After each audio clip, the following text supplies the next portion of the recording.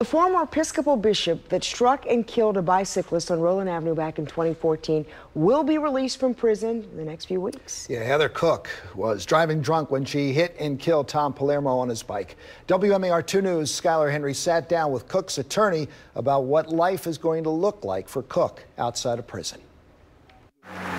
Everything on Roland Avenue has pedaled on since December 2014, except the ghost bike memorializing what happened here the night Tom Palermo took his final ride.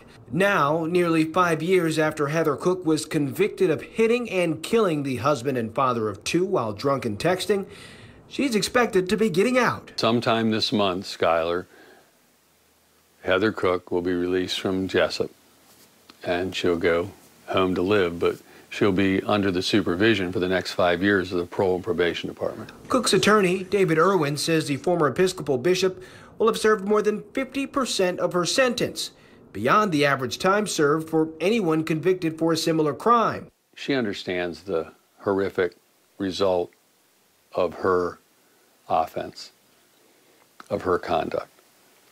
And she threw herself into helping other women in prison who had substance abuse problems, alcoholism, uh, abusive relationships, and the stigma of incarceration.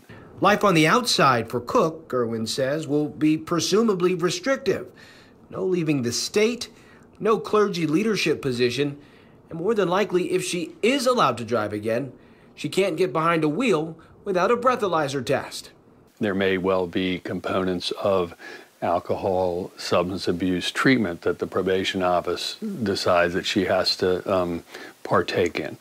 So there are all sorts of supervision and um, rules that she will have to follow even after she's released. Now, Palermo's family didn't want to talk, but has long pushed for Cook to serve a full sentence, playing a part in her parole requests being denied.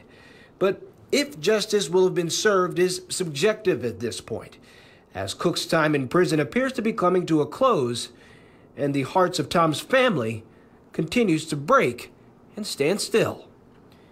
In Baltimore, I'm Skylar Henry, WMAR 2 News.